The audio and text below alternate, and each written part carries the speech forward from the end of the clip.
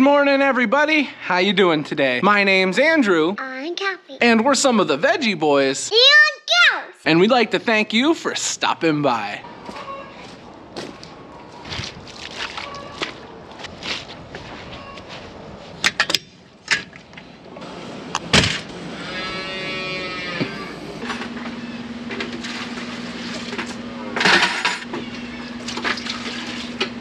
Welcome back, everyone. We are here at the farm getting started on morning chores. The first thing we're going to be working on is dealing with the calves. I just came over here to clear out their buckets so that we can get their milk dumped in. I wanted to come over early, make sure nobody was out of their pens because when they are out of their pens, oh, it makes this job so much more difficult. And I kind of forgot where I put my milk bucket last night, but I see it now.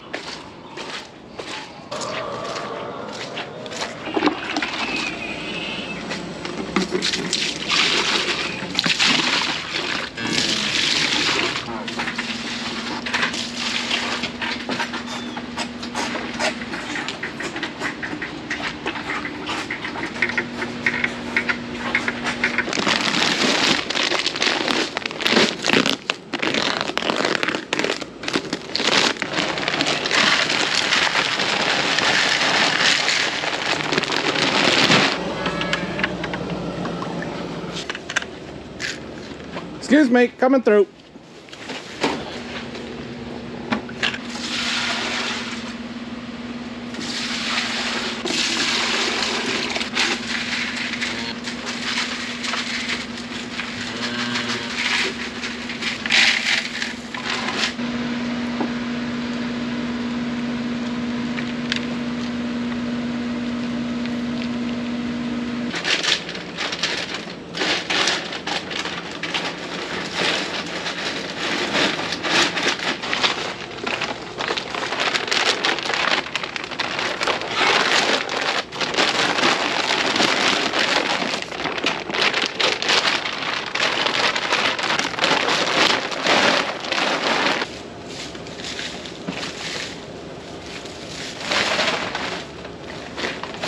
Calves are all taken care of. We also did a little bit of cleaning up before we left. I had been just taking those bags and setting them there, and originally it was going pretty well, and then I started having too many, so I wanted to do a little cleaning up. So the only things left to do with the animals are get the chickens all taken care of and the rest of the cattle. But with the cattle, I have a little bit of an extra job today. It is pretty exciting, but we'll get to that later on. We're gonna work on the chickens for now.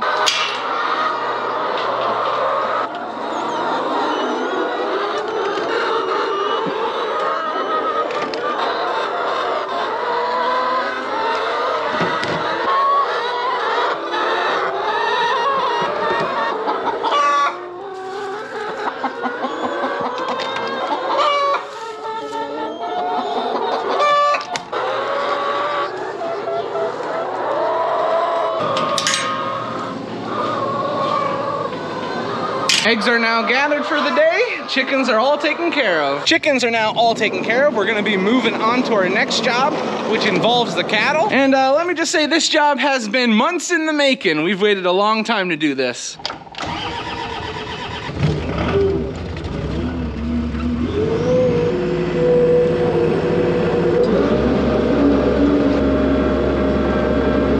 So this is some silage that we had harvested a while ago. Uh, we had put it into these bags. We had our first bag on the outside. That has reached the end of its time. Uh, the silage at the end was starting to spoil a little bit, so I didn't want to feed it anymore. Um, so we're gonna be opening a new bag, which is really, really exciting. We still have one more bag all the way at the uh, other side of the parking lot. So this is not the last of our feed. I mean, there's still plenty of feed here, but we'll be able to move right over there once we're finished. But I wanted to get this opened up and get this all cleaned up so that it makes it a lot easier on me to grab feed for the cattle. And I have to clean up that older silage and the rest of the bag that we have up there.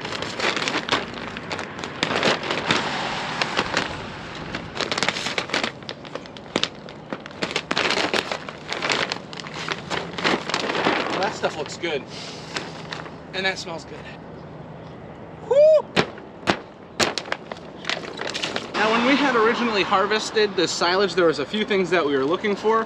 The number one thing is that we had plenty of cracked or crushed kernels. That releases a lot of the nutrients that these cattle need. There's plenty of nutrients in the stalk and with other things, but the most important thing is that these kernels are crushed, releasing all of that nutrients. Now, sometimes when the cattle are eating, they can crush the kernels themselves, but you kind of want to make sure that they get crushed nonetheless to release that uh, energy, to release those vitamins. So that's why it's so important. And I think this stuff looks beautiful. The cattle are gonna go crazy over this.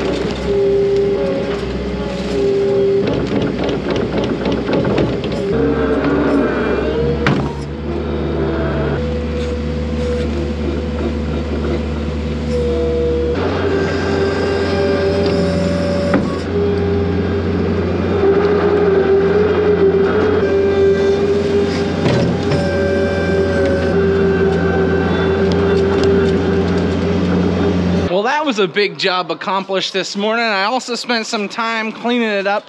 I did have some silage that still looked pretty good, so I fed that to the cattle, but the rest of it, I put it on the pile. We're gonna spread it with the manure spreader later on. I would like to say that this was me. I drove into the wheelbarrow and knocked it over and spilled the grain everywhere, but it wasn't me. I was watching, one of the calves got out, was really excited, and just went over and pushed it over and started eating the grain. I'm gonna have to talk to that calf. I'm gonna have to say, hey, not again.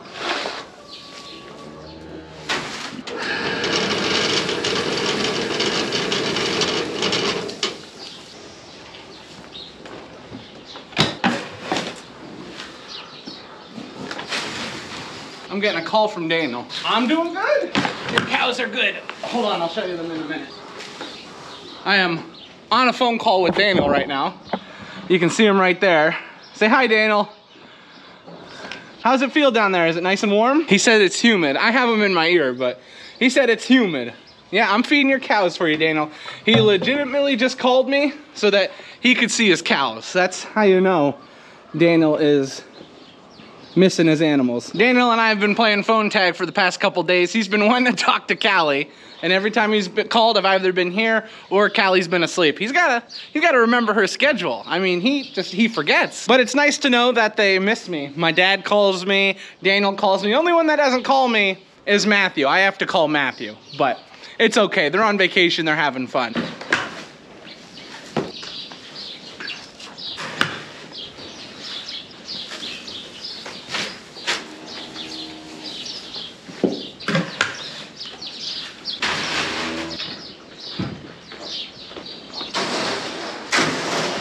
I'll tell you what, when the cattle do not have their heads stuck in these gates, these things are pretty nice. I repeat, when their heads are not stuck in them.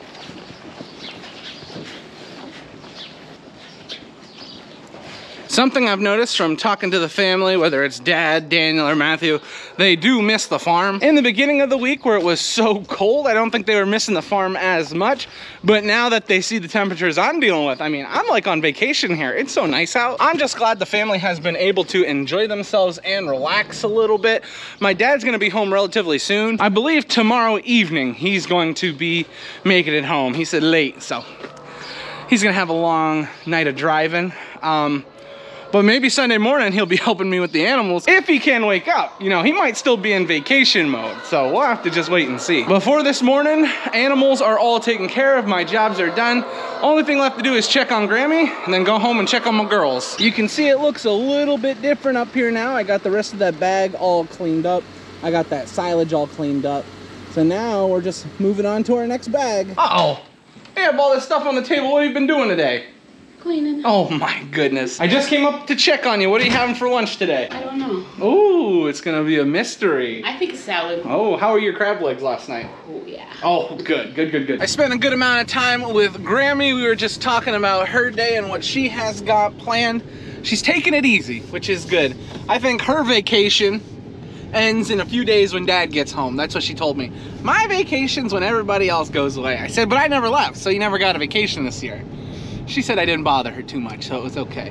Which is what you like to hear. You like to know that you're not bothering your grandma. But now it is time for me to head home. I'm gonna make some lunch. I'm gonna spend some time with Callie.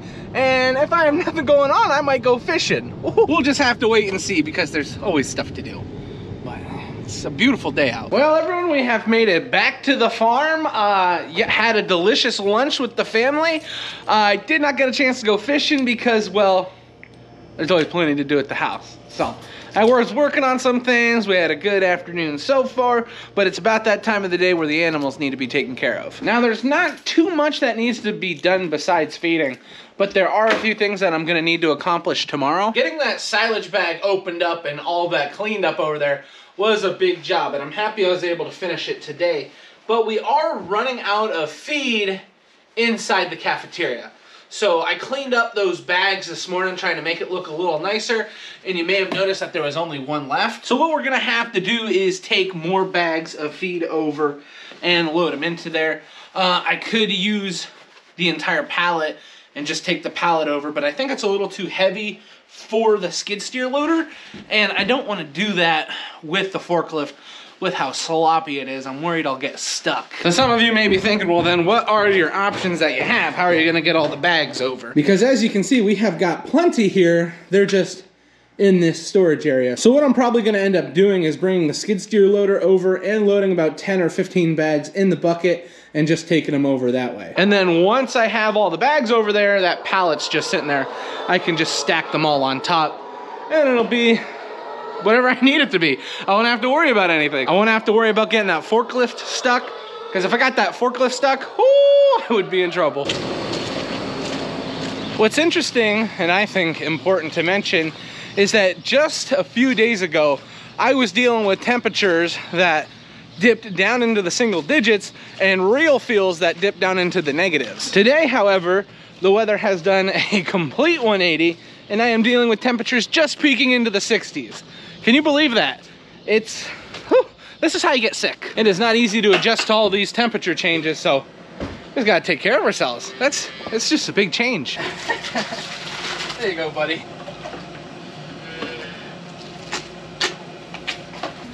Over there. Right here. There you go. Front legs. Your front. Come here.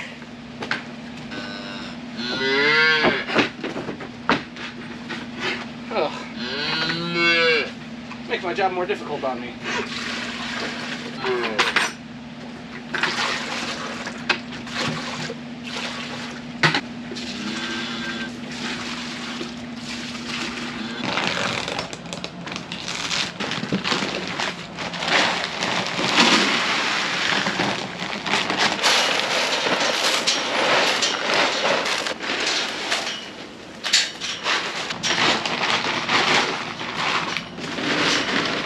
Well, that will wrap it up for the calves.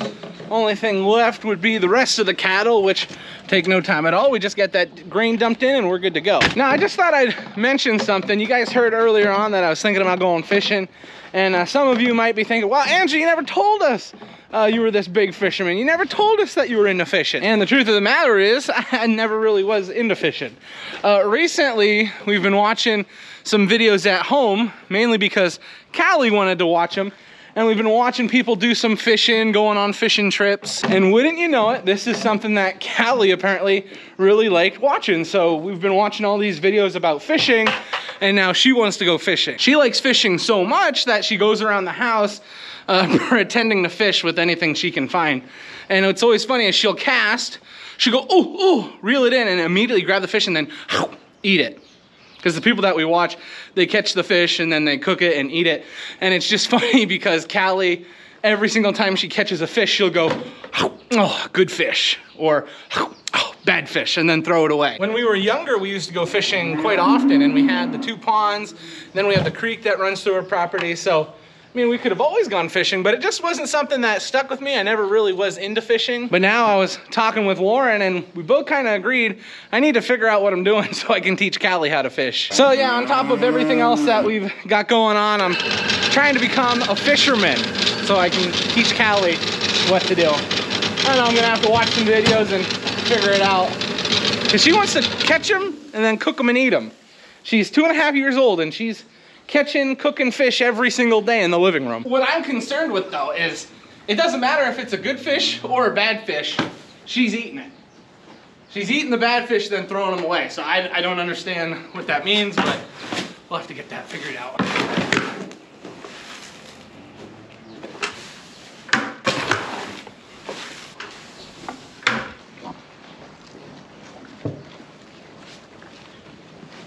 You can hear that. It's nice and quiet. All the cattle are enjoying their food. Wait a minute. It's too quiet here. Well, that. I don't know how that happened, but I was wondering why it was so quiet. It sounded so peaceful. Fence wasn't on. I think all the cattle are here. There's some down in the pasture, so I think we're okay. None of them figured it out. And I think that will about do it with feeding animals for the day. Yeah, it's looking good. I will tell you what, it has turned out to be a beautiful day. There still are little pockets of snow sitting here and there, but for the most part, everything is thawed out. It's nice and warm, it's not windy. It's just beautiful. Right, kitty? Tell him. Excuse me. Well, everyone, I had forgotten to end the video. So we're all sitting down eating some dinner. We got Joel and Megan over here. We got Callie. How you doing, Callie?